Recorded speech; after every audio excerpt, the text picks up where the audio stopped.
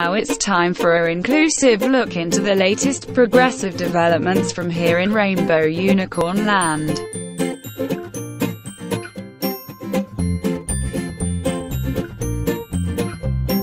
Because it's all about progression here in Scotland. It's fucking. It's getting beyond cancerous at this point, quite frankly. At the end of the day, we're 4% of the population, so you do the maths into how many out of that 4% are politicians. But of course, Sturgeon says here that the Scottish Government, as an employer, is absolutely determined to increase the number of ethnic minorities within the organisation. They are underrepresented in the Scottish Government, as will be the case for many organisations and employers. Just as it's important that we redress the imbalance in gender, imbalance, of course, because there's more men in certain sectors than women. But of course, if it's a women dominated field, they're fine with that staying a women dominated field. But all top notch jobs, all boards, all all the fucking high end on the, up on the political ladder needs to be equal. And until equality is achieved, make no mistake about it, you're going to hear the repetitive bullshit that proclaims that we are somehow a sexist, misogynistic, and gender inequality is rampant. But of course, anyway, it's also vital that we do so for ethnic minorities. The Scottish Government as an, as an employer is absolutely committed to doing so and committed to encouraging other employers to take similar action. Well, you're committed to putting in ethnic minorities where they weren't before. I wonder why they weren't there before, Sturgeon. Could it be, of course, that there wasn't any that applied for these roles? Could it be that you're a racist? Hmm. Surely not, Sturgeon. Nonetheless, this video is not actually about the latest installment of the Chronicles of Leftyville, Rainbow Unicorn Land. It's more to talk about uh, something I've touched upon before, and that is, of course, the disingenuous element to the regurgitated, rehearsed speech that Sturgeon gives every single time she's conducted conducting an interview or participating in an interview, sorry, regarding Brexit and the will of the people and the second referendum and all that good shit. And then, of course, with a smile on her face, she manages to say convincingly her version of events that if were in fact the reality, then of course she would have a point. If everything she said was went exactly the way she made it out to be, then she and her, the SNP in general and anybody that voted to remain would have a fucking point. But there's a lot of things that she deliberately misses out. And she frames this narrative in a, in a manner that suggests that we were pulled out of the European Union against our will, quote unquote, and it's just the latest example of Westminster telling us what we can and cannot do, and it wasn't exactly like that, was it, Sturgeon? As everybody may or may not be aware, if you're not from Scotland, you will not be aware, I wouldn't have thought, of what she did before the referendum happened. Of course, people that have subscribed to my channel will have seen the video before, where she. Well, I'll just get it two seconds. It's about the EU referendum. The first is how can you support independence and back Scotland's membership of the EU? Well, the answer to that is simple. I believe that independent countries must cooperate to tackle common challenges. Every member of the EU is an independent country working with others for the greater good. It's, it's not entirely true, and it sure as fuck won't be true if everything regarding the Lisbon Treaty comes into effect in the next few years, which you, like everybody else, never ever seem to mention when you bang on about how the, U- the European Union is this utopia full of independent friends. The second question is whether a Brexit vote will mean a second independence referendum. Well, here's what the SNP manifesto at the recent election said about that. The Scottish Parliament should have the right to hold another referendum if there is a significant and material change in the circumstances that prevailed in 2014, such as Scotland being taken out of the European Union against our will. Now, I'm clear that if Scotland does indeed face that prospect of being taken out of Europe against our will, then that option is on the table. And then remember, folks, just after the referendum happened, after she quite clearly, to a degree, blackmails her SNP supporters with the fear of losing the independence referendum if they vote to leave the European Union. She went on a tirade banging on about IndyRef 2, IndyRef 2, and then of course she subsequently lost a third of her seats. And then she stopped in her tracks, put it on the back burner, admitted openly that it probably did play a part in the fact she lost a third of her seats, then started campaigning vigorously for the people's vote, where she really showed her pathetic, undemocratic true colours.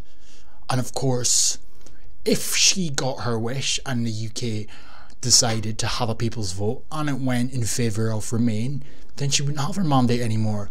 So this woman who sits here and has convinced a multitude of people in the comment sections of every interview she conducts, or in fact just people here in Scotland, of this wonderful, well spoken, intelligent nationalist that just wants what's best for Scotland and she just wants away from the shackles of Westminster. Are you not hearing yourself? She's stated multiple times, including right here, that if the UK voted to remain in the EU, then she wouldn't have her mandate. But that would suit her either way. As this quite clearly shows, she was pulling a blinder. She managed to convince the people of Scotland at the time, or some anyway, I wouldn't say all, some anyway, that vote Remain in order to get your independence. The idea, the premise for independence will never arise if you vote leave. So to some, it may have looked, may have looked, have looked as a way to put two fingers up at Westminster, tactical voting they call it. When in reality, the matter was, if you take a step back and look at it, what was going on was she was trying her damnedest to play a blinder to make sure that we remain in the European Union no matter what.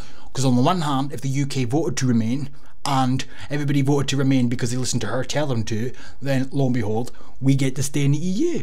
And then, of course, if it went the other way, which is the way we now see it to be, and we all voted to remain, supposedly, questionable, but nonetheless, and the UK voted to leave, she could then go on a tirade and repeat herself relentlessly, day after day, and it's wearing thin, considering this video still exists, but yet she pretends it doesn't. You can't sit there day after day and talk about the fact that Scotland voted to remain, whereas the rest of the UK didn't, and therefore that gives you justification for a fucking second referendum when you played a major role, I would assume, in the reason that it went the way that it did, supposedly. You talk con- continuously time after time you word these sentences as if we were dragged there against our will and you've not once acknowledged that this video exists. It's fucking manipulative, to put it politely. There's a lot I would like to say about this woman. Eh? Hate's a strong word, but I am on the verge of resenting this. Anyway. But to be clear, that situation only arises if Scotland votes Remain next week. If Scotland votes to leave, then that premise for independence doesn't arise.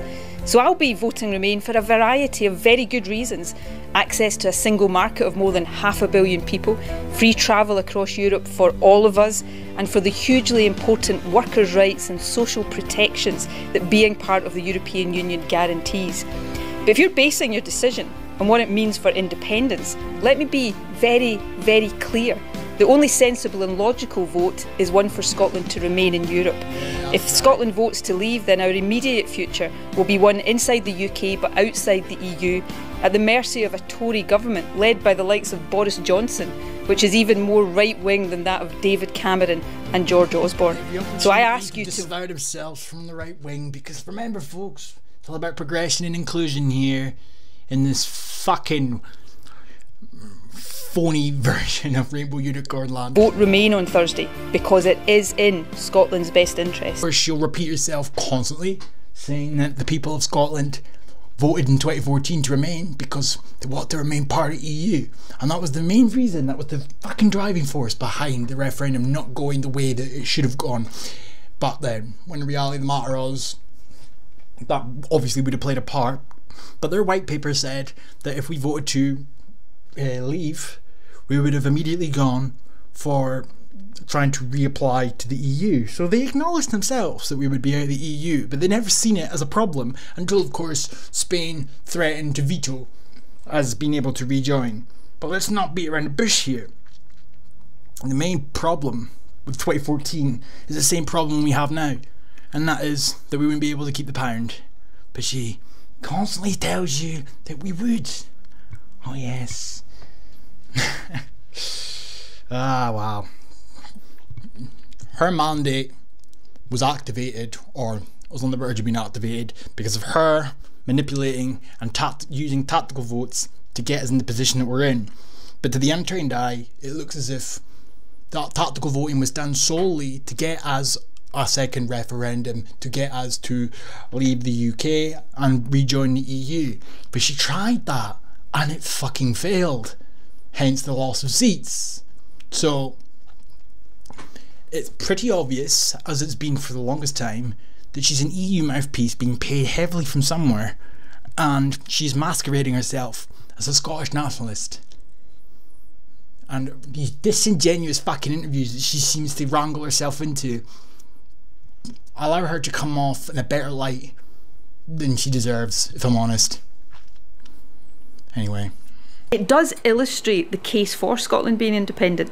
Because we don't have the ability to decide for ourselves in Scotland whether we're members of the European Union or not, we find ourselves in this, uh, you know, anti-democratic position of having voted to stay in but being taken out.